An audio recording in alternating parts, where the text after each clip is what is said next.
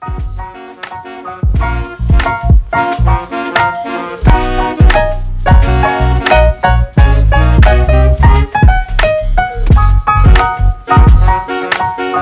to Kimbridge Barn was the location.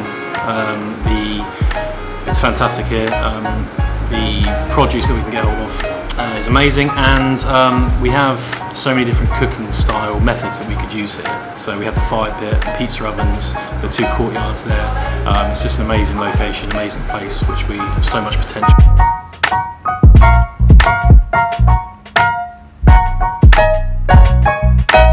Cooking style in three words. Um, uh, fun, tasty, produce driven.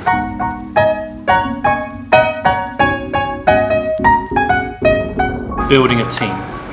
Um, a team that's been with me for about four years now. That's been my career highlight.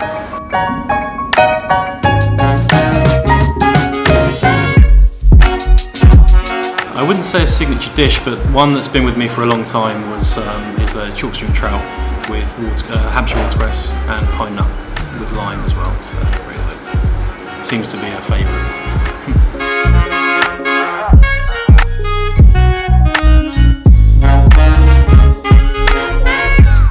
Um, we can just expect um, fun, tasty food. I mean, we, we there's sort of no, no limitations for us. Um, the owner and the MD allow complete freedom, um, and we just have fun with it.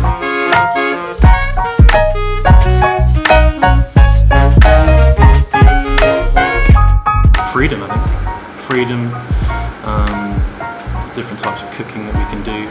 I mean, we can do, you know, very, very fine food, for instance, on Friday night, but then we can do fire pit on Saturday night, uh, where we're doing whole animals on a fire pit, uh, cage fried chickens, and then we can do a very, very fine dish in the kitchen on Friday night. So it's the, it's the scope and the um, potential that we can do.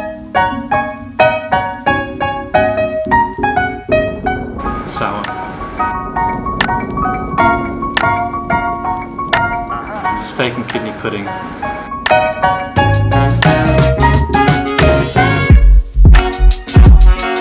set in Brighton. And there's a couple of restaurants that I've been to in my life that have changed my view on food and how I feel about food, and that was one of, it's one of the best restaurants I've ever been to in my life.